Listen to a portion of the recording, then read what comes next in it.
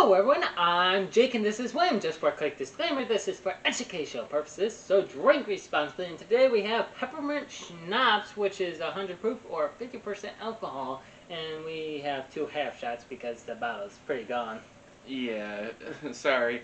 Like I said, we had a fun time. The only thing we didn't drink too much is in the next video, so uh, so be prepared for that. He is thrilled. oh, I keep thinking about it. I'm just so sad. Alright, so, We quick poured, smell. We already poured the, sh- the drink. Does it remind you of like peppermint York patties? Yes. Also the peppermint candies, you know, Mhm. like the red and white ones. It is on the bottle. But wait till you yeah, taste of it. course. you and your deep breaths. So let's do this, right? Let's get this over with. Cheers. How you like Listerine? That's not as bad as I thought it'd be. yeah.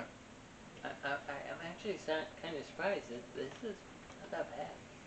Yeah. Maybe if I had more of a shot, it'd be a lot worse. Maybe, but how you how do you like Listerine? It's fine, depending. You can still taste in your mouth, and it, it describes Listerine Mhm. like you're drinking Listerine. So you like Listerine? There you go. That's Which is the weird only to say. thing I have to say about it. You know. Which is weird to say if you think about it. If you I like know. Listerine, here you go, drink this. I mean, I guess the main difference between that and Listerine is that you're not supposed to drink Listerine. Huh? but uh, yeah, that It's not bad. So that's rating. not bad. Gentlemen, your ratings on Peppermint Schnapps 100 proof in three, two, one. Seven. Six. Seven. I- Just because of the strength of it, you know, and it being the taste it is, it's not as bad. It can go down pretty easy compared to the rest we've had that are this strong. But I. A part of me wants to make it seven now because it actually surprised me. I thought it was gonna be a lot worse. Maybe maybe the next one is keep making me worry about each one. Probably.